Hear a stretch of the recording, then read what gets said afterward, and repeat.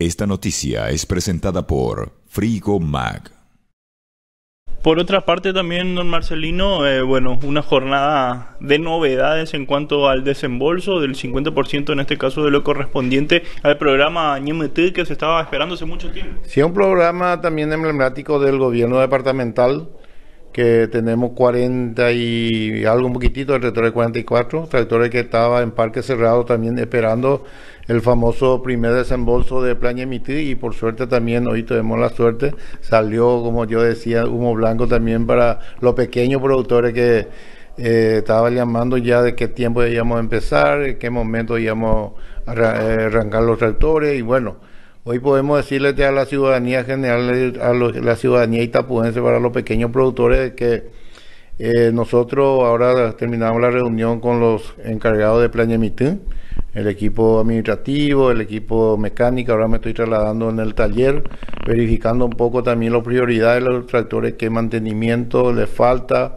si alguno está en condiciones ya para arrancar y bueno, a partir de ahora comienza el trabajo, ¿verdad? No podemos decir vamos a a mañana porque ya tenemos el, la entidad ya puso su parte, la, el primer desembolso, entonces ya queda a cargo del Ejecutivo Departamental de ejecutar lo antes posible. Acá no hay excusa, no hay mañana ni pasado mañana, hoy, hoy. Entonces me estoy trasladando rápidamente con los compañeros de trabajo de la parte de mecánica y bueno, trabajar y decirle también a los itapuenses, a los pequeños productores que del gobierno departamental vamos a estar acompañando 100% que sea lo antes posible. Ahora, ¿es está a tiempo todavía o qué dicen los pequeños productores para hacer los movimientos de suelo, teniendo en cuenta que anteriormente o años anteriores para estas alturas ya estaban realizando los trabajos? Sí, tenemos que entender, justamente le escuché hablar al senador nacional, don Colín Soroca, decía también de que eh, cuando uno tiene ya a mano la, la plata, por decir así, ya podemos ya arrancar lo antes posible, ¿verdad? Siempre eh, hay que ser agradecido en la vida también Ojalá que pueda llegar en junio, julio, ¿verdad? Pero también dependemos también del lado argentino, ¿verdad? Entonces yo creo que hay tiempo.